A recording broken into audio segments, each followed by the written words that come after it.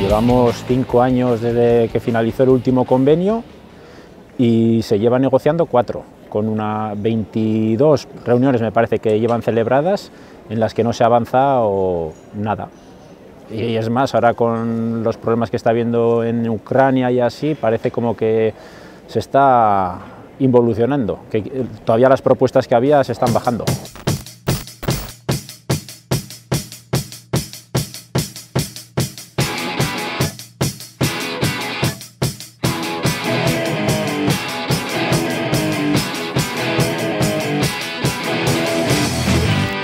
Nosotros tenemos un convenio propio, sí que es verdad que en lo que no está referido al convenio del metal eh, está en nuestro convenio, todo lo que no está en el convenio de, Alestis nos iríamos al convenio del metal, entonces claro que nos afecta. El convenio del metal de Álava lleva varios años que no, no se modifica, entonces las condiciones laborales dentro nuestras en muchos apartados no han mejorado. Nosotros en nuestro convenio te pedimos una subrogación a, a nuestra empresa, se nos negó, no la pudimos conseguir y es uno de los temas más fuertes que se está negociando en el Convenio del Metal de Álava que, que nos interesaría tener como subcontrata de Michelin. Hay muchas empresas en las que la subida salarial es cero, la subrogación, porque hay muchas empresas subcontratadas en el sector del metal, en la automoción y así, hay muchas empresas y la subrogación es uno de los pilares básicos que queremos que se, que se negocie. Eh, el contrato relevo, hay, hay varios aspectos. Las trabajadoras y trabajadores del metal de Áraba en lucha por un convenio digno. Lo que se está planteando y se propone son eh, salarios dignos que alcancen los 1.400 euros, eh, que estén las subidas estén ligadas al IPC, porque se está perdiendo mucho poder adquisitivo ahora mismo, eh, una rebaja de la jornada laboral que actualmente está en 1.735 horas y rebajar esa jornada. Así como los convenios, por ejemplo, del metal de Vizcaya y de Guipúzcoa están bastante más bajos, esas jornadas laborales, aquí mantenemos una jornada laboral muy alta. Una subrogación real, medidas efectivas en salud laboral, igualdad real y no discriminación, eh, que el contrato relevo se incluya dentro de, del convenio del metal, una formación dual y, prácticas dignas. El contrato relevo es muy importante que se vuelva a poner porque la gente se puede prejubilar antes, entra, entra un trabajador joven a sustituirle y no, podemos estar como quiere el gobierno hasta los 67 años trabajando en una siderurgia, moviendo cargas pesadas, es, es inviable. El sindicato empresarial Aves en estos momentos plantea en el convenio de Metal Álava unas subidas ridículas de sueldo por debajo del IPC, eh, no mover la jornada eh, laboral anual, tampoco quiere hacer caso ni ir a hablar de la subrogación en las empresas subcontratadas. La subrogación en las empresas subcontratadas es que cuando una empresa deja de funcionar, las, que, los trabajadores los, los coja la empresa que viene.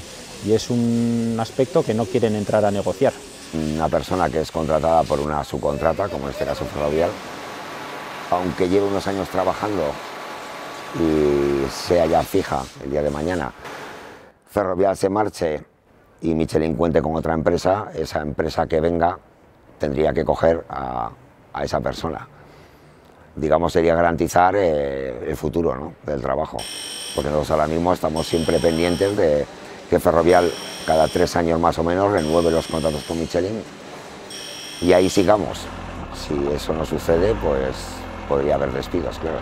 Creo que es el momento de unirnos todos, los trabajadores del metal, que somos más de 20.000 en todo Álava. Es el momento de afrontar una lucha tal y como se llevó en Cádiz en su momento, en donde los trabajadores se unieron y llegaron a parar muchas fábricas. Creo que es el momento en Álava de dar ese paso. Lo que para los sindicatos tenemos claro es que en estos últimos años, con todas las cosas que están pasando, pandemia, guerras, etcétera, las patronales lo que están haciendo en sus plantillas es constantemente flexibilizar los horarios de trabajo, los turnos y, eso está haciendo que, las plantillas ya no aguanten más tanta presión.